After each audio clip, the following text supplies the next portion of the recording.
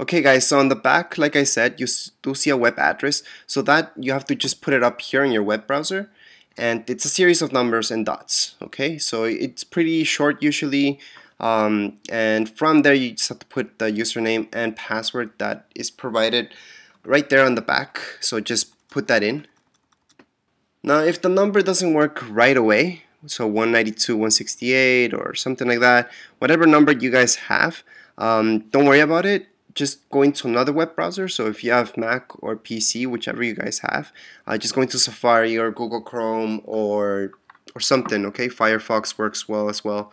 Um, and from there, you guys can customize a lot of things. So what we need to do is set up our wireless. Although it's kind of already set up and we have a password already, which is also on the back of your modem right there. Um, it's better to put in your own password, your own name as well so you know uh, it's not just Rogers and then a bunch of numbers.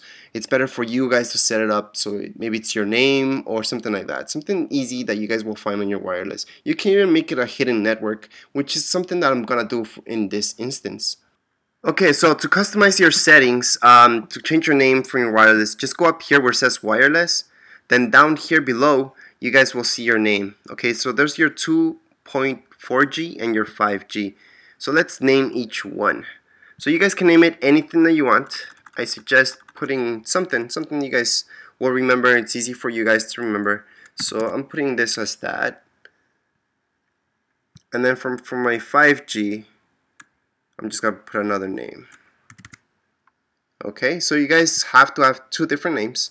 And as you know, some of your devices can be, well, most of your devices will be able to connect to 5G. And some older devices just into 2.4. So a lot of um, printers out there, only 2.4. And a lot of other stuff, such as iPhones, you will be able to connect to your 5G network setting that, you guys could just save changes at this moment. However, we want to put more stuff right now, customize more things. So our next step is just to go over, so we were in basic settings, now we want the security part of it, okay? From here, we're gonna set up our passwords and um, anything that you guys want to customize is from here. So our password right now, it's uh, one from Rogers that you can change up or you can leave it without a password. I strongly strongly recommend putting a password. However, I'm going to make it a hidden network myself. At this point, you guys can just type in any password that you want. You have to type in a password and then just put save changes.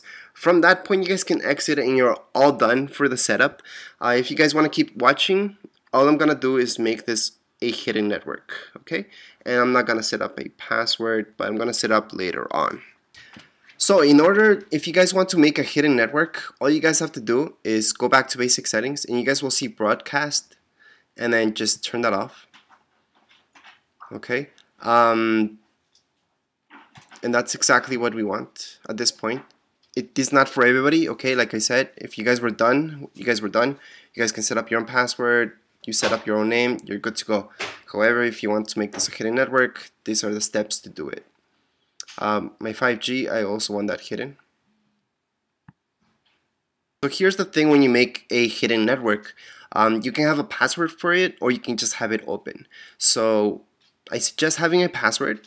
Okay, so it's a double protection. So people, when they scan for your Wi-Fi network, they will not see it in their list. Neither will you. You will have to add it manually to whatever devices you guys want to connect. Okay, so if you want your Mac to connect to your Wi-Fi network, you will have to know what the name is. So remember the name of your network and that way you guys can connect up.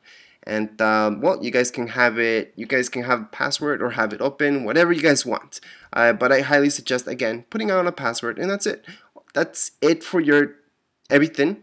Um, your internet should be working right now. Everything should be ready to go. Um, you can also just call in um, Rogers and tell them to set up for you, sure, why not? And they're gonna do exactly what I did right now. However, I do suggest you doing it yourself, you getting to know your modem, getting to know your your internet and how to customize basic basic things.